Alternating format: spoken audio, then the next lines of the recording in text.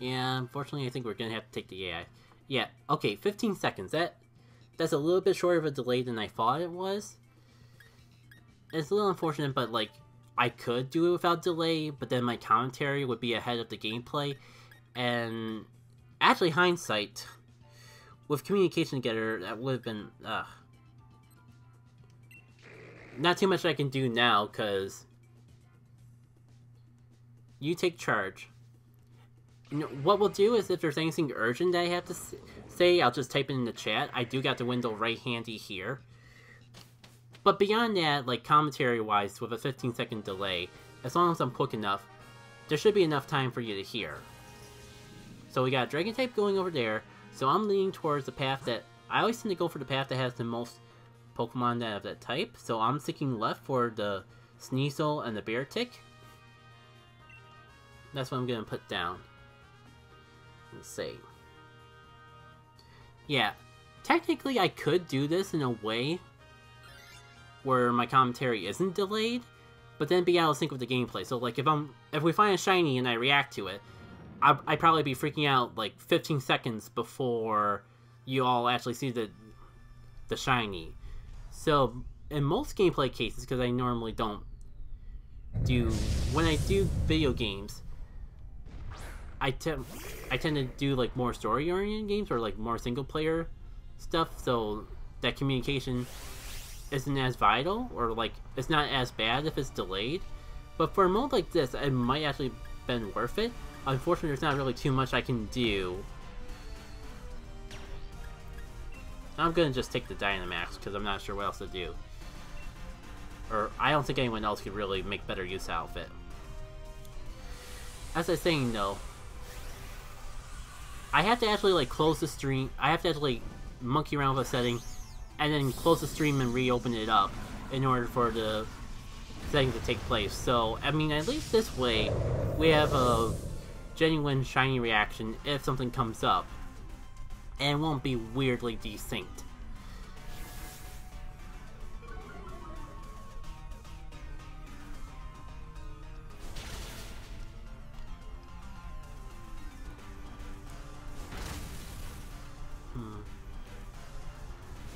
Far so smooth. I completely forgot about the fact that the Drednaw was part rock, but that was from the AI, so they wouldn't have Dynamax anyways.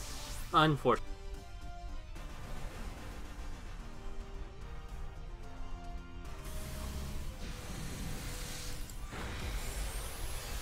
Okay. Yeah...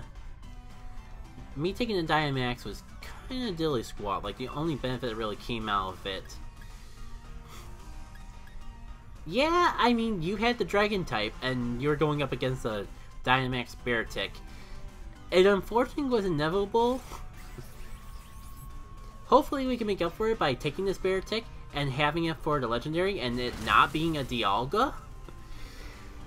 So we can, like, completely obliterate the Legendary Pokemon. So hopefully, in the long run, the damage will... The reward will be worth the damage.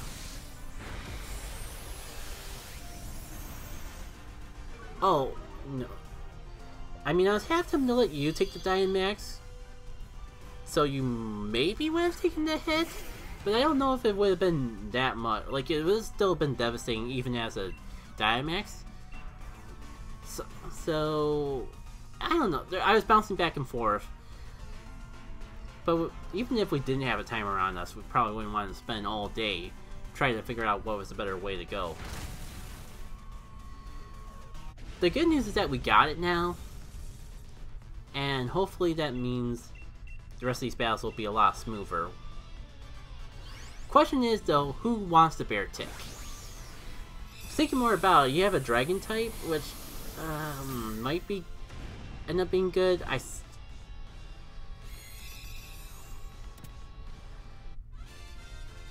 If you have dibs, of course, stay in the chat, and as long as it happens relatively soon, hold off on it, but someone should definitely take it. It'll give me a second to see if the AI decides to go for it anyways. Okay. Yeah, I'm just gonna take it.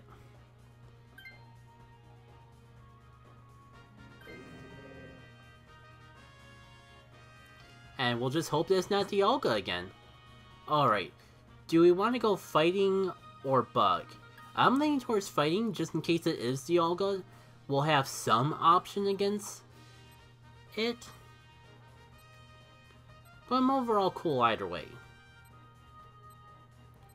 That said, it's about to run out, so I'm just I just hit the fighting button just in case.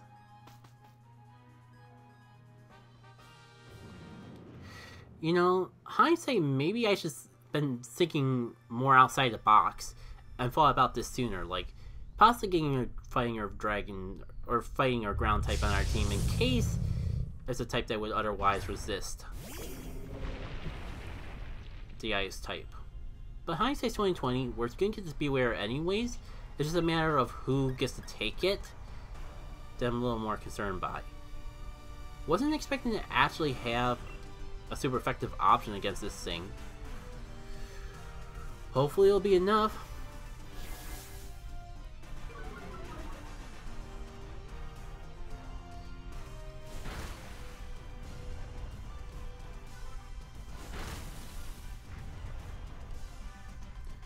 The good news with the fracture, the good news is that if it turns out to be Palkia, we kind of would be screwed without an, the ice types wouldn't do any good, but that dragon Pokemon probably be good. Who takes Bewear? That's what I've been complicating. That's what I've been debating. I'm... It all comes down to which... I don't... Personally, I like if the AI takes it, but that's not guaranteed. We can't guarantee that because it's the AI. I'm a little hesitant to take it because I just picked up this Frost Bear. We do have the Sneasel coming up, but the a part of the reason going down this path was so we had two ice types, so... Hmm. We do have this whole battle to try to sort it out. Yeah. My current game plan is going to be... I'm going to sit, hope the AI takes it, and if they don't, uh, we'll see how low my health is, and go from there. I might just pick up the Bewear. Oh, no, actually I'm not going to pick up the Bewear, because I do have Close Combat. Or I have whatever that fighting type move I've been using on this thing this whole time was, Body Press. I have body press, so we have a option if it does end up being Dialga. You know, this this would have been nice like two turns ago, but beggars can't be choosers.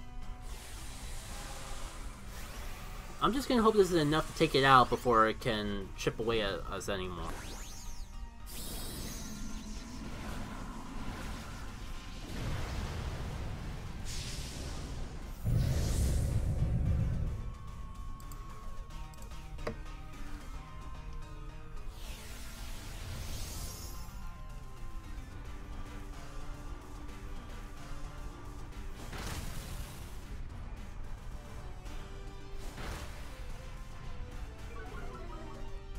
Okay, you know what? I didn't think this through when I decided to Dynamax. And... The shot... Uh, let's just end it now. I probably would have saved us all the trouble going for the animation if I realized it was going to get that crippled, but I just realized how unfortunate of timing it would... I really realized how unfortunate it would actually be to let whenever I let Beartic Dynamax. Let's let's just leave it at that. Alright, time to cross our fingers that the AI actually takes this. Cause I wouldn't blame the AI if Oh, you know what? This thing doesn't even have any fighting type moves anyways. Which is, of course, means that the AI is, of course, gonna take it, because why would they take something useful? okay, this way should give us berries, so if we can somehow survive this ordeal, we can make it to the end.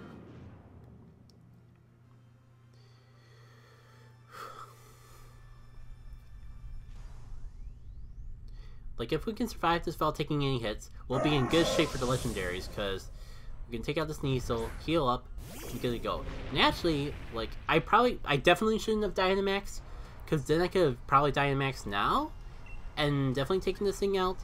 Ah, uh, well, this should still do a good chunk of damage. Also, I apologize to you, Smithy, for being the brave soul that has to take the Dragon type through all these ice types that we're facing, but crossing my fingers that it pays off in the end. That's cool and all. I'm kind of not... With how low your health was, I'm not sure if that even a Dynamax would be enough to survive. But we can at least hope that we outspeed the Sneasel. Who am I kidding? It's a Sneasel. Oh, okay. Never mind. That was this right play. That is right as far as it needs to be. I mean, that was the correct play as far as it needs to be.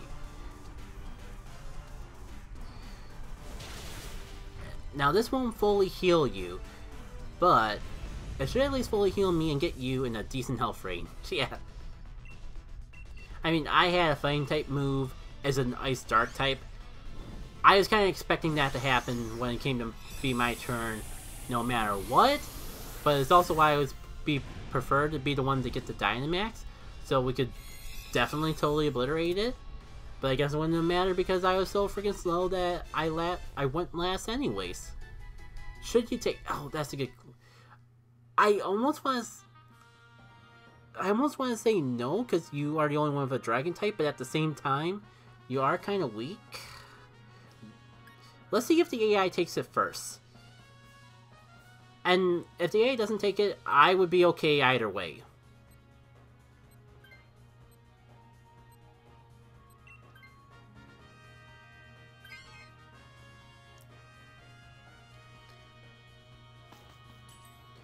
Because the berries are going to heal you, I just... Yeah, at least get you in the green. Which could be a problem against the dragon type. We have three lives. Yeah. That's what I'm saying. Like That's what I was saying early on.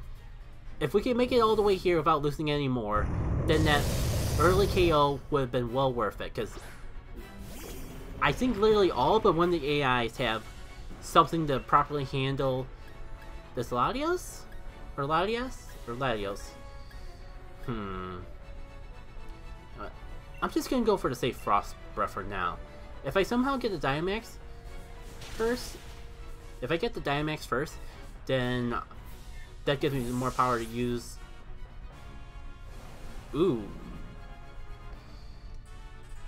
That was not in the game plan.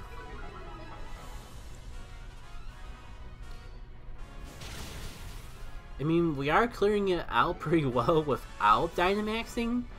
So I think it's going to just come down to who can wipe us, who can hit harder faster. the Latios or us. Oh no, Smithy, once we beat the legendary Pokemon, it's over. We all, none, none of us actually get to use the Latios for anything. Like, it'll make more sense at the end, but we're not actually taking the Latios into any battles. This is the this is the boss fight.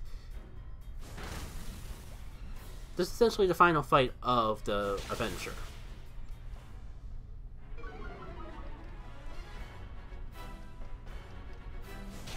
Pardon, you know what? Yeah, I definitely regret going for the Blizzard.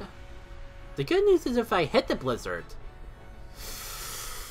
it would have taken it out. I should have gone for the freaking safe play.